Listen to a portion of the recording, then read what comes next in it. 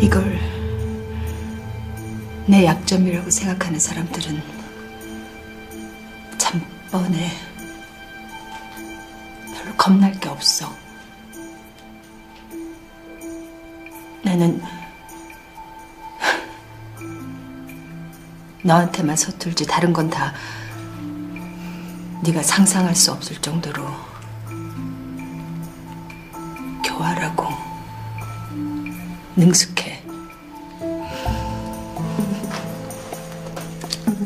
그건 네가 안 봤으면 좋겠어. 모른 척하고 기다려봐. 어떻게 되나? 내가 피아노 쳐서 나라고 해요. 그거 좀 한다고 이런 거 모른 척 그게 사람이에요. 기생충이지. 언젠가 꼭 너 같은 애가 퀵 배달하면서 유튜브로 네 연주를 따라친다면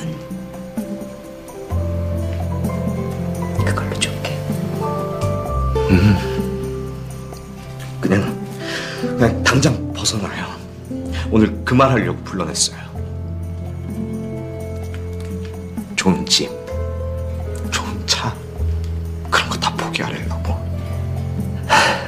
연습하는 중이야. 연습이 뭐가 필요해요?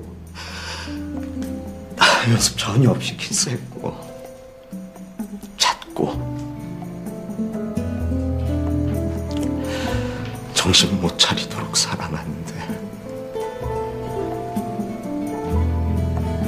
그럼 편지 쓰고 가출해야죠 응? 청운동 한남동이 무슨 우주예요? 어? 벗어나면 죽을까봐 산소 없을까봐 말참 겁나 섹시하네.